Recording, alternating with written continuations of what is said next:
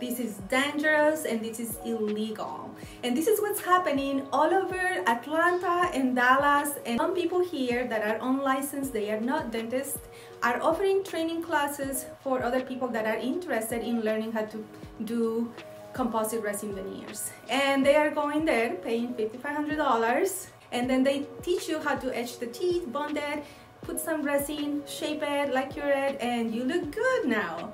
How bad is that? This is so wrong in so many levels. First of all, would you allow your hairstylist to fix your teeth? That's crazy. Uh, so this is my obligation.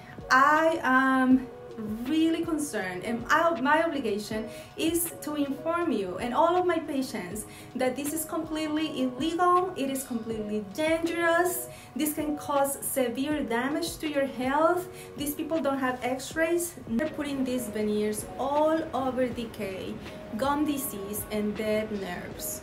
Guys, they're also not properly fitted.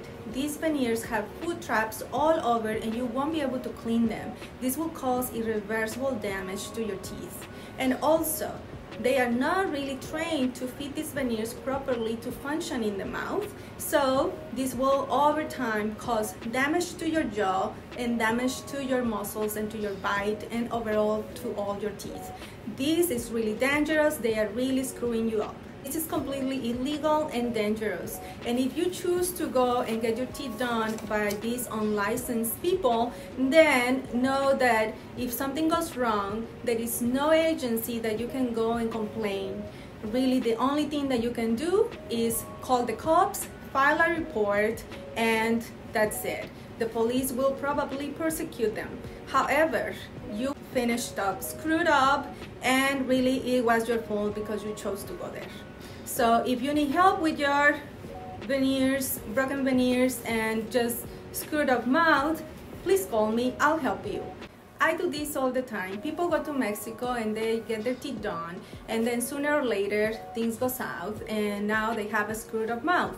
Now they come to me and I fix it. But believe me, the treatment is more complicated, more expensive and just more painful.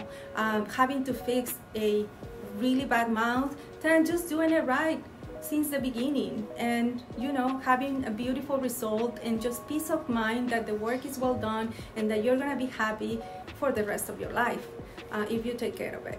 So this is my advice for you guys that want to do veneers and that you know you think you're saving people money some dollars. No you're not. You're screwing them up. There is this case of a garage dentist that was just practicing illegal dentistry the same thing doing extractions and orthodontics and whatever. He was sentenced to six years in prison. Uh, guys it's not worth it. Please be aware.